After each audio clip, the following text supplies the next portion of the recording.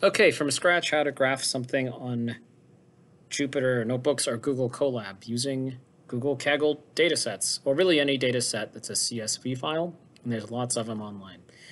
All right, so first of all, uh, you go to your Google Drive and open up a new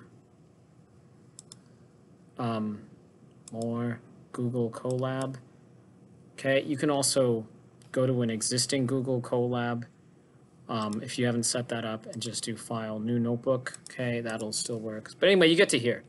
Um, okay, uh, first thing you do is you've got to um, also find a data set. So here, here's one world population data set that I found on there. It's pretty common. I'm going to click download. This will download a CSV file. There it is, world population. I'm just going to drag that to my desktop. So now it's on my desktop.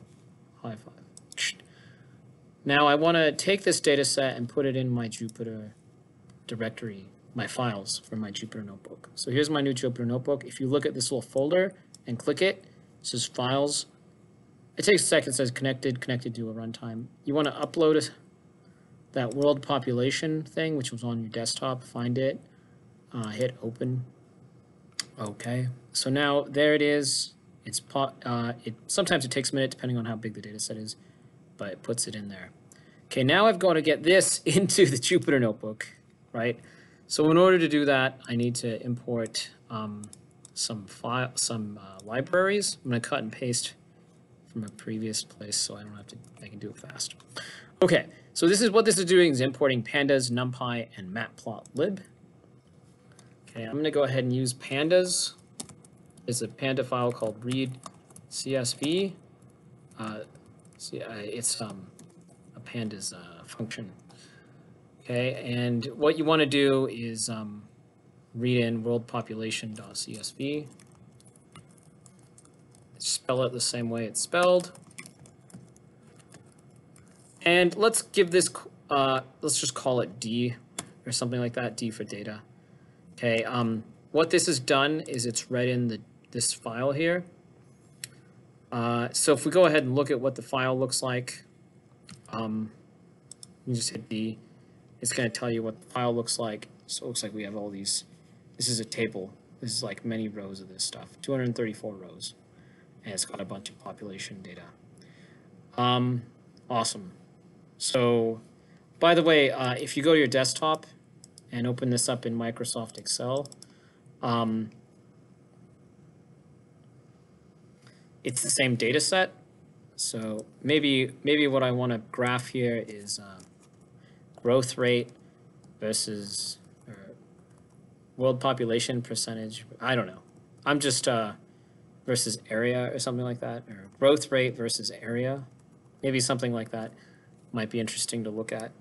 Um, so I'm going to go ahead and try and graph that now. Uh, so, okay, this has been read in. So let's make another code block. Uh, we've got to define on our x variable. So this is going to be, um, uh, so it's from the D or data directory, and I put in these brackets, and now you can select what you want. Um, let's do uh, area. So I'm, uh, I'm assuming this is like square area of, of the land. And then y, the y variable that I want to plot let's pick um, growth rate.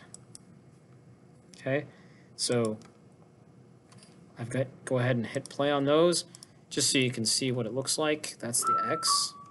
So it's a bunch of numbers.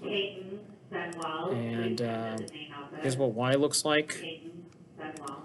Y looks like also a bunch of numbers. That's what I want to plot. Um, so this is growth rate. Um, let's go ahead and uh, plot it. So I want to plot x versus y. So plt.plot x comma y. And I like I like to put these little x's to mark make markers for each one. So there they are. These little x marks the spots. So you can see um, low number, high number of area. You know, I don't know if it correlates, but that's essentially it that makes a graph. You can add titles and things in different ways. Um, there's lots of menus online to help you do that. But this is a very basic, like how to do it real quick and dirty. Um, the, to recap, uh, you have to download your data set and then hit this plus sign to get this in. Import these libraries so that you can use pandas to, to read in the file. And then you can use matplot.lib. Uh, that's what this plt.plot function does. It comes from matplotlib to, um, to plot it. All right, uh, thanks for tuning in.